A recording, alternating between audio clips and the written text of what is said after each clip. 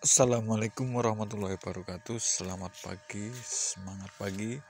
Kali ini saya menampilkan teknis untuk mengatasi kekeringan pada tanaman anggur Atau memberikan nutrisi pada tanaman anggur Dengan bahan-bahan yang sangat sederhana itu botol plastik bekas Dan spuyer plastik. Ini bisa mengatur pemberian nutrisi dan air dikala kita sedang berada di luar atau ada kegiatan di luar dan tidak sempat menyirami atau menyemprot. Ini sangat praktis sekali.